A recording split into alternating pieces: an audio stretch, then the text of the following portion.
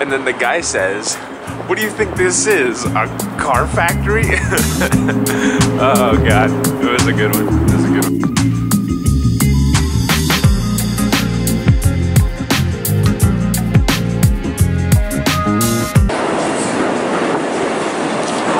I wonder what they're gonna find down there. Like, I don't know, like a Rancor or something?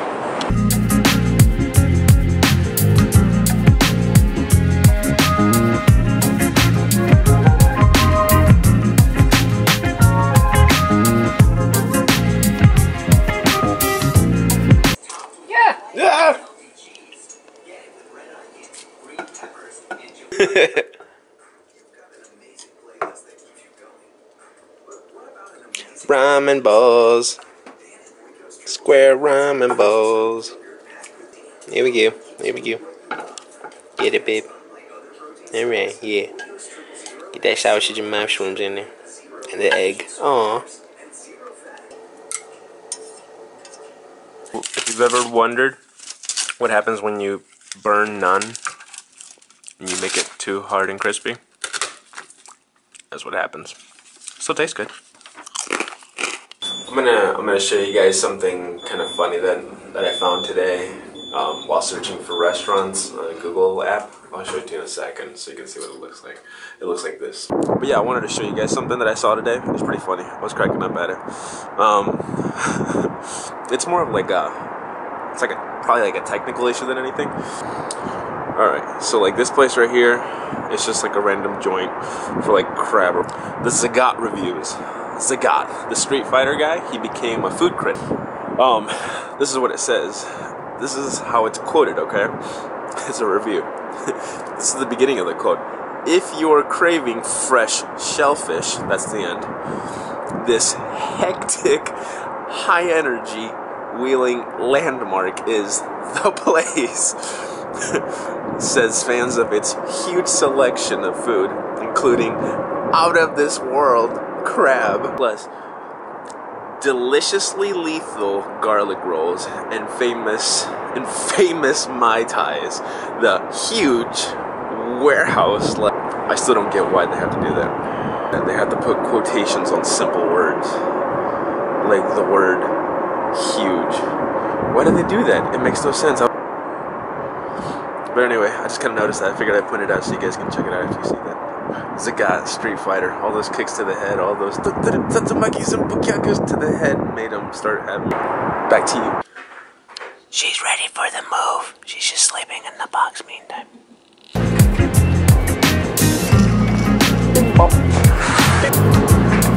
Gross. So basically, we're trying to get as much laundry as we can done today. Um, trying to get it done now. So we don't have to worry about it too much tomorrow after we move. So it'll just be a load off our minds and our butts. Just why not butts, right? Butts are fun. So I don't know about you guys, but I really don't mind moving. Like even the packing and moving stuff, I find it exciting because yeah, yeah.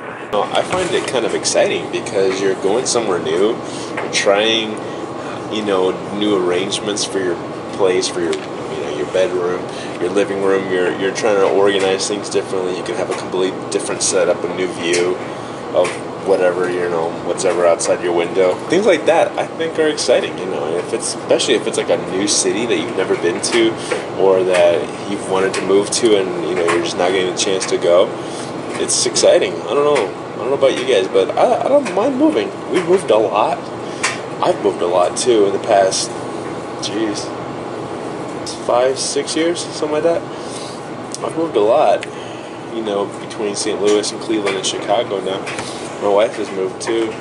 I- Ideally, we'd like to settle down somewhere. We don't know where it's going to be for sure yet, but you know, so far we're having fun just moving around and trying new places out. Kind of like a nomad lifestyle, sort of, but not as danger inducing, I guess. I don't know. I don't mind. But I, I do know for a fact that some people detest, detest moving. And that's fine, you know. It's, it's your opinion, man. I think it depends. If you have a lot of junk that you have to that you have to move, like if you have like a lot of stuff, a lot of property, a lot of I don't know, a lot of toys, book kind of stuff, yeah, it can be kind of a nuisance, I'm sure, to move. Just to get it all organized and to pack it up. But if you don't have that much stuff, if you're gonna be moving a lot, don't get that much stuff. Keep everything low, minimum. Otherwise, then yeah, it becomes like a nuisance, I guess. But I don't know if everything's very simple and you keep most of the things that you need and that's it. It's no big deal. I don't know. It's just my opinion of it. trying to stay positive.